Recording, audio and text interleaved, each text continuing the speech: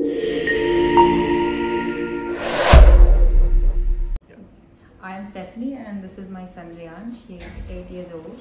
We've just completed two and a half months of vision therapy uh, with Visual Eyez Clinic. Um, actually, we brought Reyansh here because he was having um, a squint and he was uh, diagnosed with lazy eye in both eyes. And uh, we were not happy with the treatment plan by the other doctors. They believed that simply patching would do the, the, the job. And in patching one has to be regular. And still we were not satisfied that anything was improving in his vision. We were referred to dr rajiv by uh, a colleague um, who'd also had some vision therapy done for his child and we came here and we were given the diagnosis of vision therapy. And after two and a half months his uh, vision has been restored. He was not his 3d vision loss was there. Now that is back.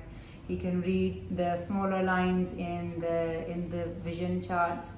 And his handwriting and concentration has also somewhat improved uh, still it's uh, an issue with children whether they want to work or not but if you focus on what actually the practicalities so there is some improvement so we are very happy and we suggest that if anyone has any doubts about the child's vision or uh, uh any queries then this is definitely the right place to come and get these doubts cleared and do the best for your child's eyes. Great, thank you. So, I mean, once you got to know about lazy eye, so what was it bothering you much? Is it just kind of glasses or the vision is impaired or is academics which may get hindered? Everything. But when one hears lazy eye, you assume that something is wrong with the structure of the eye. It means the eye is not performing as it should.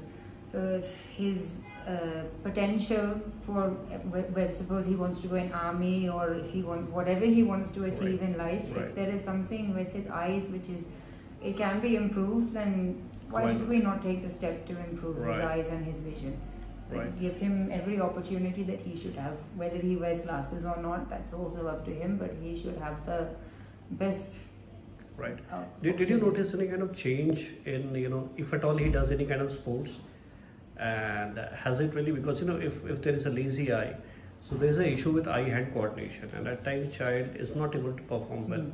Catching, I would say, has improved. Um, he never played cricket as such. Now he has an interest in the last three, four months. Um, otherwise, skating, karate, these things he was doing, he was managing quite well. Mm-hmm. But uh, maybe I would say coordination has improved yeah. a little. And now, in terms of catching and trying to catch things and overall movements, movements. there is some improvement also. I so, any, any last piece of advice which people will be seeing this video on the YouTube? So, any piece of advice to the parents who has a child? take every effort to uh, follow up on recommendations and uh, if anyone says to you what you are doing, why you're doing it, you're spending the money, it's just a waste of time, do not listen to them. Just try it and see the results for yourselves and you will have the physical results on the paper and in the child's eyes so you will come to know that you have done the right thing. Perfect. And uh, how long have you been doing patching for him?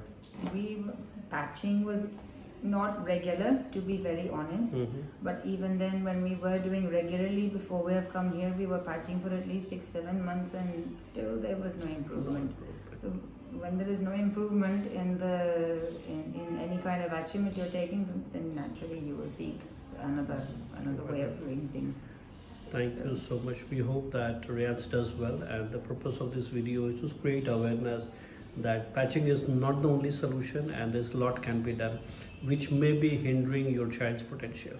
Thank so, you so thank much. you so much. Thank, thank you. you. Thank you, Reyansh. Thank you. Bye-bye.